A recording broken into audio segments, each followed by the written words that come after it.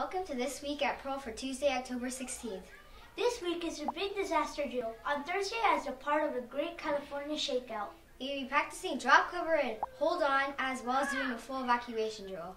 Some students will be asked to play the part of some injured during the quake, which is always my favorite part. I remember when I broke my leg and I had to go sit out for the whole time. I hope I get hurt this year, but remember, it's just pretend. No one's really getting hurt during the drill. It is also a great time to remember to make sure you are prepared at home in case of an earthquake. You want to sh- make sure you have supplies just like we do at school.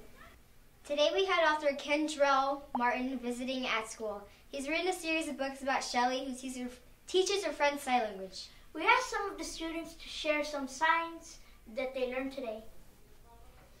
Oh, Elephant.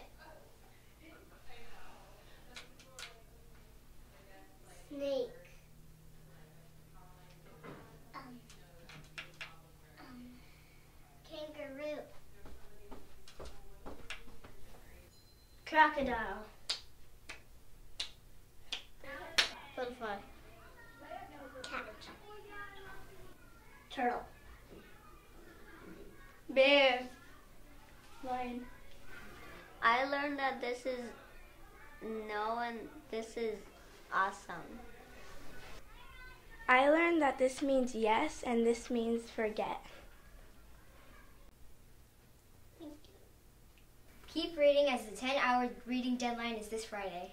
This is Yannick And Tara. signing off for this week at Pearl.